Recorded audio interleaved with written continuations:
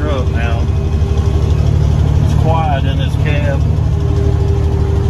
That AC's blowing cold. It's sticky outside now. Sets in the road good.